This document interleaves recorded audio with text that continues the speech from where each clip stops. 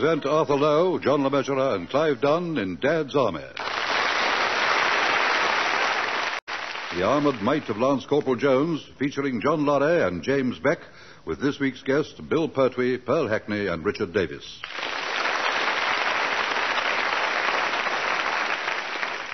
Here is the latest news, and this is John Snagge reading it. As Nazi aggression continues, the Hun is prepared to stop at nothing in his relentless determination to become the master of Europe.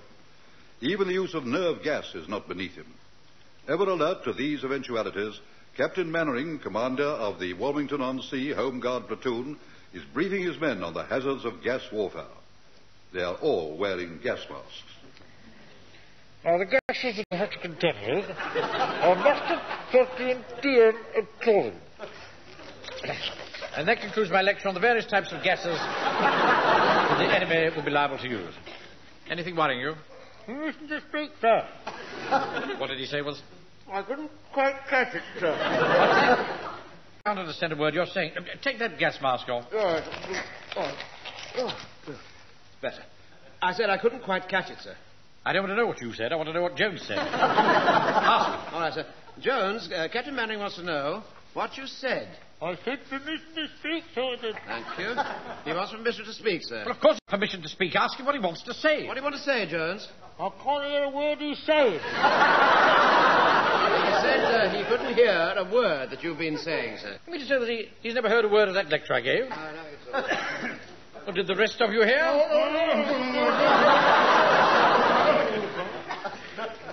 Well, I'm not going over all that again.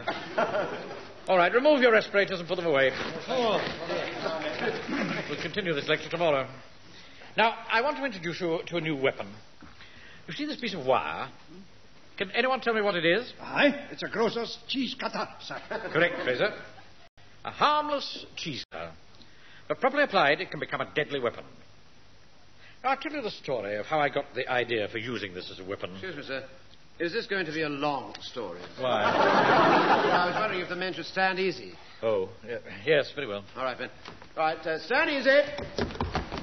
All right, sir. You can carry on now. Yeah, Oh, thank you. now, this is an example of improvisation at its best. A few days ago, I went to get the week's rations for my wife and myself from the grocer's. As he cut off our meagre ration of cheese, I thought, why am I getting such a little piece?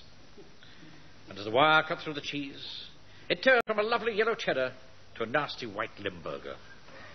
And as it dropped off the cutting board on a marble slab, it then turned into the head of a Nazi paratrooper. That's it, I thought. Just the thing for dealing with the enemy's sentries. Creep up behind him. Then you lob the wire around his neck, like so, and pull it tight. Result? Instant decapitation. He doesn't even know what's happened. Not until he nods his head. What did you say, Walter? I said he'd be better off in bed, sir. He would indeed. So, it's round the neck, pull tight, ah, instant decapitation. Excuse me, sir. What is it, Jones? Permission to be sick, sir. Yes, carry on. That's not like an old campaigner like Jones. Ah, he's all talk. He's got no stomach when it comes to the real thing. I can't understand his feeling sick just because I mentioned decapitation. It's not that, sir. He just doesn't like cheese. Now, pay attention, men. I've just received a communication from GHQ saying that there is not enough cooperation between the ARP and the Home Guard, and that in future we must both work together for the common cause. I'm sorry about that, sir. I don't know what came over me. Feeling better now, Jones? Yes, thank you, sir. Good. GHQ also says that the Chief Warden will be calling on us tonight to discuss various means of cooperation. By the way, who is the Chief Warden, Wilson? Oh, it's that terribly common man, you know, uh, Mr. Hodges. You know, he, he banks with us. Hodges? Well, how can they make him Chief Warden? Man's a greengrocer. Yes, that's right, sir. Yes, yes. He's the one with dirty fingernails. How do you know he's got dirty fingernails? Well, I can see them every time he pushes his takings under the grill. He keeps the shop next to me, sir, and ever since he's been made chief warden, there's been no holding the man. You're right, Frazer. He's become drunk with power. Yes, sir. Nasty bit of work he is, sir. You want to put your foot down. Otherwise, before you know where you are, he'll be taking over from you. I'd like to see him try. Now then, who's in charge here? You know perfectly well who's in charge here, Mr. Hodges. Can't you see the pips on my shoulder? Oh, it's Mr. Mainwaring, the bank manager. It's Captain Mainwaring, and this is Sergeant Wilson. How do you do? As far as I'm concerned, you're still the bank manager, and Wilson's your chief clerk. I can't forget his. Every time I go into the bank with my takings, he gives me a dirty look. That matches his nails. Walk up. What did he say? Nothing. Oh, yes. You want to keep those blokes in line, Mainwaring. Do you mind not prodding me like that? I'll do more than prod if I get any more smart remarks.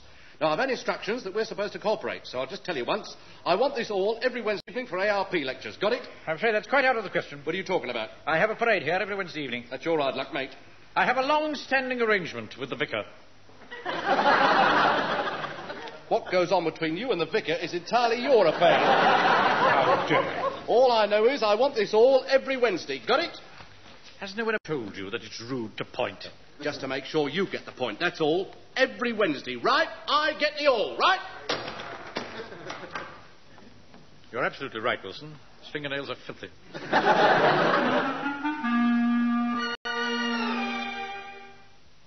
amazing. I can make it look so much. All right, all right, lady, don't push, don't push. Ah, good morning, Mrs. Leonard. Morning, Mr. Jones. Now, what can I have? Well, let's have a look at your ration books. Ah, well, you haven't got very much here, have you, Mrs. Leonard? You sure you're looking at them properly? Well, no, my eyesight's not too good, Mrs. Leonard, but I can see you only a shilling's worth left on each book. Oh, dear, is that all? Well, you shouldn't have had that joint on Friday. Oh, it's not my fault, Mr. Jones. It's my husband. He has to have his bit of brisket every weekend. Well, I can let you have three lamb chops. Yeah, they come to one and eight. I'm afraid you'll have to have the bacon corned beef. There we are. That's come to exactly two bob. How's that? oh, thank you. Here, this is for you. Hey? Yeah, well, it's a tin of your favourite tobacco. I'll be back again in a few days. She's given him something. hey, what's she up to? Here, have you got any sausages? Well, I could let you have a couple, Mrs. Leonard. Oh, he's got sausages. Sausages? Yes, all right, all right, ladies, please, please. I can only let you have one sausage for each book. Take two and four, please, Miss Mortimer. Right, next lady, please. Oh, good morning, Miss Meadows. Here you are, Mr. Jones. What's this? Just a little cake I made for your tea. She brought him some cake. Oh, thank you very much, Miss Meadows. I hope you didn't use up too many points making it. You can have my points any time, Mr. Jones. what I mean is, you deserve looking after. No one can accuse you of not doing your bit. As a butcher, you look after our insides, and as a home guard, you protect our outsides. Well, what's it to be then, Miss Meadows? oh, I'll take it all in corned beef. Do you want your sausage? Oh, yes, I'll have my sausage. There you are. I was sure the other ladies were as easy as you, Miss Meadows. Well, try to please. Take two and four, please, Miss Mortimer. Hang on, excuse me, excuse, uh, hang on, just, just, excuse me, ladies. Cut your phone, Yeah, oh, it's all, right, it's all right, ladies. It's all right, all right. Keep calm. It's only me. I'm here on business. We all know what your business is. Now, I ask you, ladies, is that nice? No, Come on now. What is it, Walker? Look, I want to talk to you, Jonesy. It's urgent and private. Oh, well, I'll take you somewhere private. Come on, then. Look after the shop for a minute, Miss Mortimer. All right, Mr. Jones. This way, Joe. Come on. Blimey, what do you want to bring us in here for? It's freezing. It's the cold storage. It's the only place we can't be overheard in. Yeah, listen, Jonesy. Have you still got that old delivery van of yours? Yeah, Does it go? it does. I just can't get any petrol for it. Yeah, look, I've got an idea. Why don't you offer it to Captain Mannering as platoon transport? It's a butcher's van. Yeah, well, you'd have to do it up a bit first. It's been in my family for years, that banner. I, I don't think I'd like it knocked about. Anyway, why are you suddenly so interested in it? Why? Well, it's like this, you see. It's... Oh. oh. Oh. Why do you have to have this place so cold? You've only got one frozen rabbit in here. It's regulations, isn't it? No, no, no, no, no listen. If, if, if, if you let them use your van, I have to give you the petrol coupons for it. I thought you could get, get petrol. I can get p- petrol. It's the coupons. They're worth ten bob each. Well, it's just, uh, uh, uh, sounds a bit dodgy to me. Look, look, look, don't, don't worry. Leave it to me. Come on, let's get out of here. It's, It's a good job we're not brass monkeys. We'd be in need of a welding job.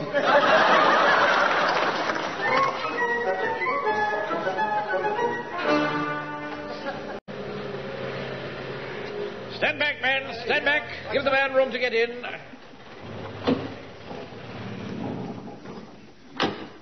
There we are, sir. What do you think of her? Oh, absolutely first class, Jones. This must be a proud moment for you. That, that is, sir. Listen, men. Corporal Jones and Private Walker have worked on this vehicle non-stop for the past three days. And now Corporal Jones will show us the result of all their hard work. But before we start, sir, I am the official driver, aren't I? I mean, that's all right with you, isn't it, Captain? Oh, yes, Manning? yes, of course it is, Jones. Excuse me, sir. Do you think that's wise? Of course it's wise. We've got to let him drive it. It's his van. Well, I'm not too keen on the idea, sir. You're never too keen on anything, are you? right, Jones, carry on. Right, thank you, sir. Now, if you all come round the back of the van, I shall explain. Open the doors, Joe. Here's the keys. So, right. There we are. Now then, this is an all-purpose vehicle. Firstly, it can be used as an armoured car.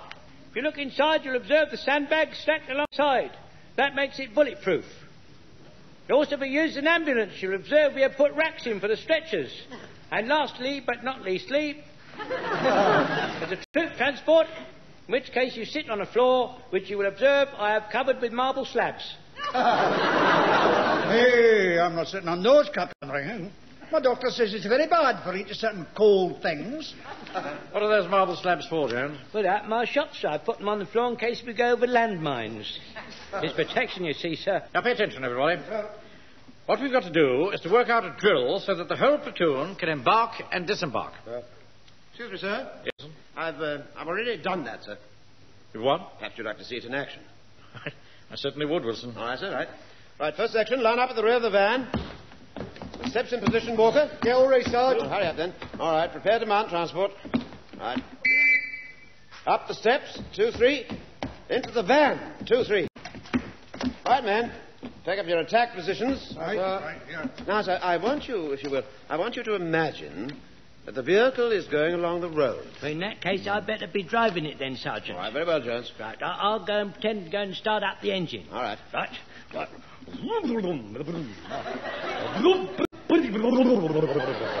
Right, Sergeant, I pretended to start it. All right, good. Well, get into the driving seat. Right, Sergeant. Right. Right. Jones, you might find it easy if you took the bayonet off your rifle. Oh, yes, of course. I wonder why I was having a bit of trouble getting in. Now, do be careful, Jones, with that bent, for heaven's sake. You nearly punctured the tyre then. Yes, sorry about that. All ready now, Sergeant? All right, off you go then. Right. That's it. Now, sir, uh, the men are inside, and the vehicle is moving along the road. Yes, I rather gathered that. Now, sir, watch those little porthole covers on the side of the van. Right. Enemy on the left, range 100 yards, Irons, rapid fire. Gun ports open, two, three. Rifles out, two, three. Bang! Bang! Bang! See, the portholes, sir, open to allow the rifles through, see? You never cease to amaze me. Wilson. See, I am keen, sir, I really am. I- I'm as keen as you are. It's just that I, well, I have a terrible job in showing it. Yes, yes, yes. Yes, I understand, Wilson. I said that. All right, Jones. Yes, yeah, you can stop now. Oh, right. We've arrived. Yes. Oi, oi, oi, oi. What's going on here? I've never heard such a row. Is there anything wrong, Warden? Yes, this Wednesday night, you know, and I'm trying to give a lecture in the hall. Well, nobody's stopping you. How do you think I can make myself heard with you lot shouting bang, bang, bang all the time? What are you doing, playing cowboys and Indians? We're trying out our new ambulance troop carrier. This is an ambulance. Looks more like a butcher's van. What time does the horse arrive? Oh, very amusing. I can assure you that this makes a very efficient ambulance indeed. Oh, this is your lucky day then, mate. What do you mean? It so happens that we're having a large-scale air raid practice next Saturday, and we need all the extra transport we can get our hands on. So report with your ambulance and a party of six men to act as stretcher bearers to Percy Street at two o'clock next Saturday afternoon. That's 1,400 hours. That's what I said. Right, we'll soon show him how efficient we are. Excuse me, sir. Yes, what? What about the petrol coupons? I mean, after all, we're going to use quite a bit of juice, you know. Ah, now, I'm very glad you brought that up, Walker. This van is going to be converted to gas. Gas? That's what I said. I got on the phone to GHQ earlier on and told them all about it, and in order to save petrol, they want us to take it down to the RASC transport pool and get it converted. I don't know what make you sick.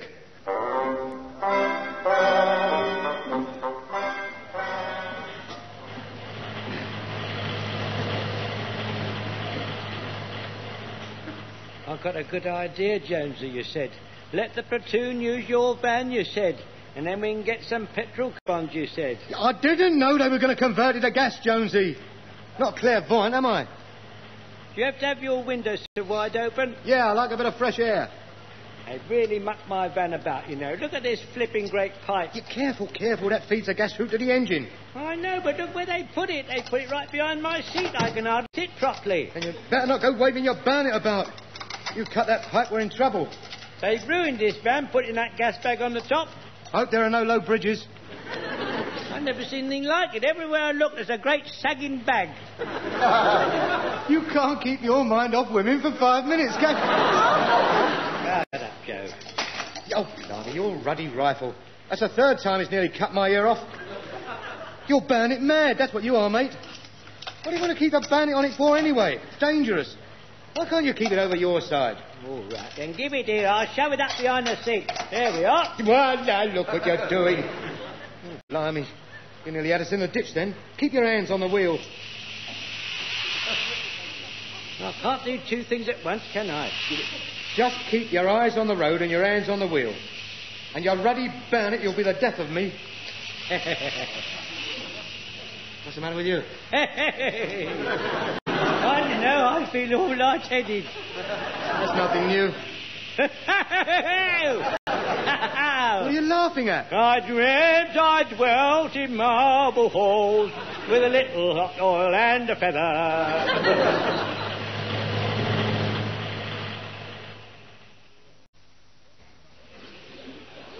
What do we stop for? She'll be coming round the mountain when she comes. Are you deaf? I said, why have we stopped? Yeah, oh, shut up a minute. I better have a look and see if anything's wrong. God, blimey. Hey, Jones, Jones. What is it? The gas bag's flopped right down. Must be punctured somewhere. Hey, Blimey, look, there it is, right behind your head. That bayonet must have stuck in the pipe. I'm it. I thought your driving was a bit more erratic than usual. You've been breathing the gas in. I've been a six. I, I, it's- it's got a big hole, isn't it? We'd better do something. What? I don't know. Do what that little Belgian boy did in Brussels. What, here? No, stick your finger in the hole. You're thinking of the Dutch boy and the dam, you silly old duffer. look, I can't sit here with my finger stuck in this hole. You have a look in the first aid box. See if there's any sticking plaster. All right. no, uh, too small. Well, shove a field dressing round it then. Good idea, good idea. Yeah, hurry up. Yeah, all right, all right. Here we are. Now then. There, that should do it. Come on, Joe, get in. Right. We're going to be very late, you know. I wonder what Mr. Mainwaring's going to say. We're going to be very late, you know. I wonder what Mr. Mainwaring's going to say. Shut up, Joe. Well, Mr. Mainwaring's not going to like it. Like it, he'll do his nut.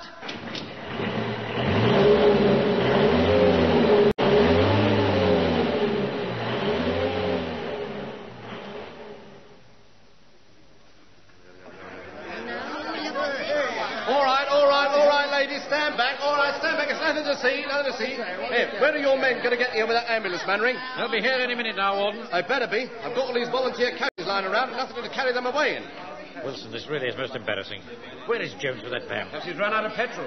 Not using petrol. He's been converted to gas. Oh, yes, of course, yes, sir. If this is a taste of your efficiency, I don't think much of it. Uh, now, come along, you lot. Now, look, I told you to... Uh, come on, I told you to stand back. Arthur, Hello, Mavis. What are you doing here? I've been looking everywhere for you, Arthur. You forgot to give me my housekeeping money. Mavis, please, please. Can't you see we're busy? Oh, I can't help that, Arthur. I've got my shopping to do. Right, missus, lie down on the pavement beside that old man. Ah, I should do no such thing. You're one of the volunteer casualties, aren't you? No, I'm not. Well, in that case, stand back out the way. Come Now, on. look here, look here. This lady's talkative will not stand back until she's finished. Do you understand? Oh, ruddy amateurs. Well done, Wilson. Will two pounds be enough, Mavis? Oh, yes, of course. Thank you, Arthur. Oh, you know, he's a wonderful man, Mr. Mainwaring. See you later, then. Wilson, Yes, sir. I do feel you should confine your domestic affairs to off-duty hours. It's awfully difficult with it being Saturday, you see. Weekend shopping, you understand. Oh, I've never seen such chaos in all my life. Utter chaos. Oh, come on, move back now. Right, come on, everyone, move back now. Come on, come on. Here's the van now, sir. Thank goodness for that. And about time. Right, get this lot of the stretchers and load them in the ambulance. I'm going to see how they're getting on in the next street. Oh, sorry if we're late, Mr. Mainwaring. We had a bit of trouble. All right, Jones. You and Pike put this old man on the stretcher and then put him in the back of the van. Right, sir. Good afternoon, sir. Mr. Brown, is it? That's right. I see you've broken a leg. No, it's not really broken. I'm just a volunteer casualty. Yes, quite, quite. Never had a day's illness in my life, actually. Always kept myself fit. well, you're in very good hands here. Right, Pike, Jones, lift Mr. Brown up. Oh, Very good, sir. For goodness sake, lift your end, Jones, you little old man. He's not as old as I am, sir. Oh, Frazer, take over. I will, sir. Right. Ah, We've got him. Right, now bring him round to the back of the van. Well, that's it. Open the back doors, Jones. Yes, sir. Oh, dear. I'm afraid it's locked, sir. What? Who locked it? I did, sir. What on earth for? Well, I didn't want anyone touching my marbles. Unlock it at once. I can't, sir. I haven't got the key. Oh, for goodness sake, there's no end to all this. Where is the key? It's back in my shop, sir. Well, go and get it at once. Yes. Take that bike there. Yeah, very good, sir. Go, Jones. Right, make way, make way there, please. Here, make uh, way. if I may make a suggestion, sir. Yes, sir. Uh, There's a wee door at the back of the car behind the driving seat. We could get him into the van through there, sir. That's a good idea. Uh, Mr. Brown, a bit of a technical hitch here. We're going to take you round to the front of the van. Nothing to be alarmed about. Oh, you carry on. I've every confidence in you. Thank you. Right, pick him up. Right, sir. Come on, Godfrey. To Wilson. Take the stretcher oh. case round to the front. All right, yes, sir. Here, this way. Open the passenger door, Wilson. Right, sir. Walker, what are you doing in there? Well, there was so much going on out there, I thought I'd better keep out of the way. No room for work shies here. You can jolly well give us a hand. Okay, Gov. Now then, we'll put Mr. Brown in feet first. Right, lift him up. Oh, come on, Godfrey. Wilson, that's it. Now then, push. Yeah, hang on. Oi, oi, oi, oi. Now look, you'll have to bend his legs round. Go on, bend them round. I don't think they'll bend that way. Oh. but I'll try. Oh, oh, oh, oh, mind what you're doing. Yeah, I told you they wouldn't bend, Mr. Mainwaring. Oh. Yeah, you all right, mate? Oh, I think I've damaged something. What the hell are you lot up to? I think we've put his leg out of joint, Mr. Mainwaring. Try not to laugh, mate. Won't hurt so much then. Oh, it's not funny, you know. Here, Mainwaring, did you tell Jones to take that bike? Yes, Warden, I did. Well, it's mine. Ruddy liberty. You can't go round taking private property willy-nilly. Oh, never mind that now. We're supposed to be in the middle of an emergency. Anything you touch becomes emergency, mate. Come on, Pike. Frazer, push. Bend him round, Walker. I've told you he won't bend any more. Oh, ah, I'm not made of rubber, you Hey, know. what's going on? What's going on? Blimey, what are you doing to that poor bloke in there? You mind your own business. Ah. Wait, wait, wait, wait, wait, wait. This obviously isn't going to work. Well. Come on, Wilson, Godfrey, lift him up. Wait, wait, oh. wait a minute. No, no, no. You'll have to go down.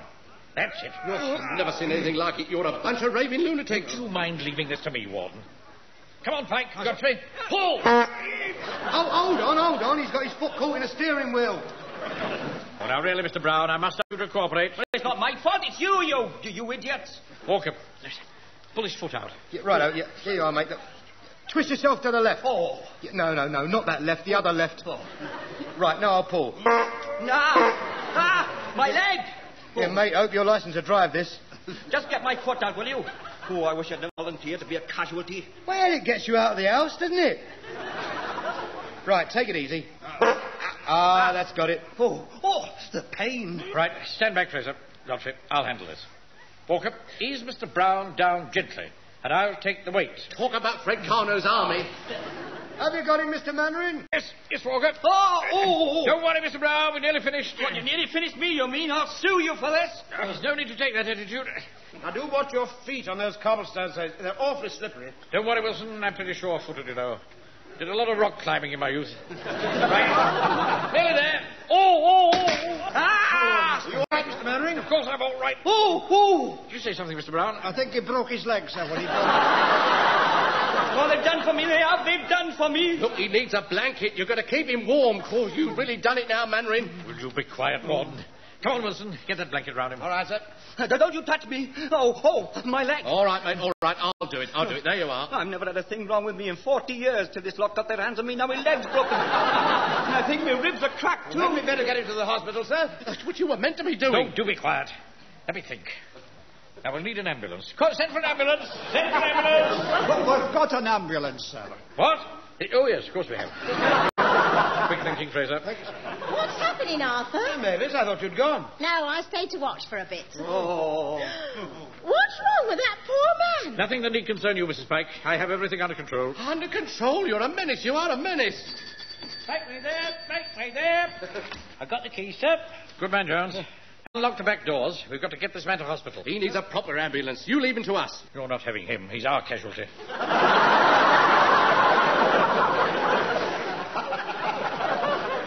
If it wasn't for you, we wouldn't be a casualty. exactly. That proves my point. anyway, we had him first. Look. No, you didn't. I gave him to you, so you hand him over to me at once. How dare. Remove your hands from my stretcher immediately. That's our stretcher. All right. You can have the stretcher. We'll take the patient. Right, man? Get him off the stretcher and get him into the van. No, you leave me alone, do you hear, all of you? Don't you come near me. I was perfectly all right until you lot came along. You're mad. You were locking up, the lot of you. You're all mad, do you hear me? Stark, raving, staring mad.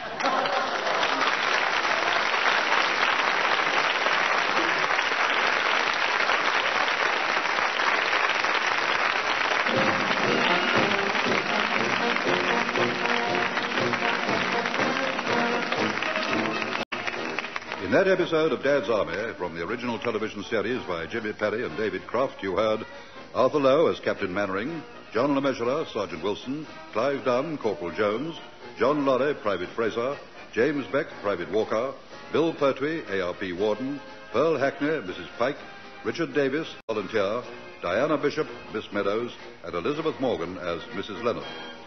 The Armored Might of Lance Corporal Jones was adapted for radio by Michael Knowles and Harold Snoad and produced by John Dyas.